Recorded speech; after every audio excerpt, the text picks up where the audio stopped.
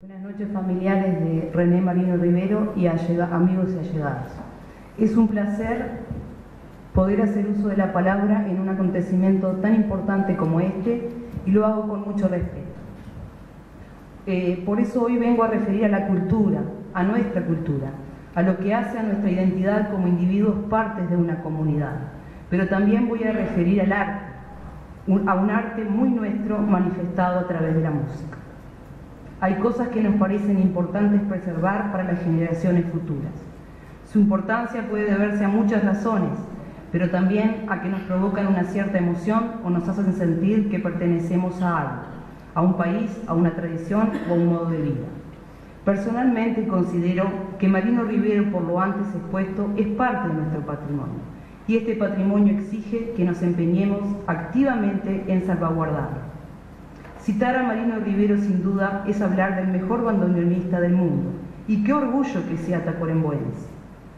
Su carrera y su trayectoria no solo brillaron a nivel nacional, sino también internacional.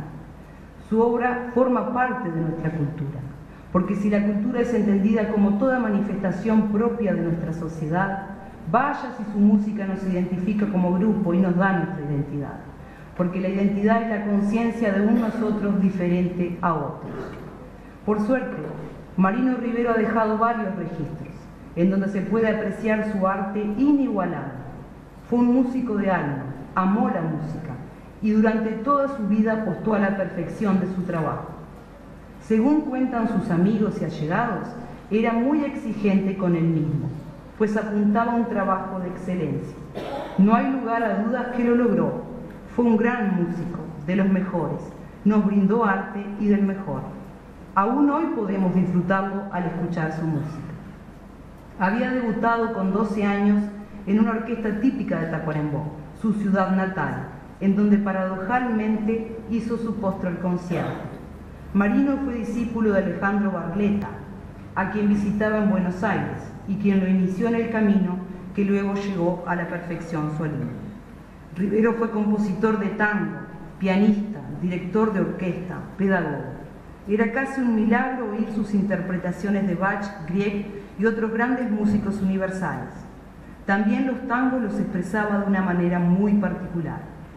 Todo esto lo afirmo sin desmedro de otros notables músicos que alcanzaron gran notoriedad y popularidad, nombres insignes de nuestra música ciudadana, como por ejemplo Aníbal Troilo y Astor Piazzolla.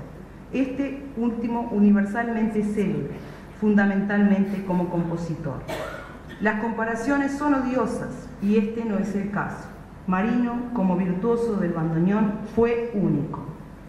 Creo firmemente que el tiempo acrecentará cada vez más la valía de este extraordinario músico por eso hoy estamos brindando homenaje a nuestra cultura, a nuestro arte, representado en un grande René Marino Rivero. Muchas gracias.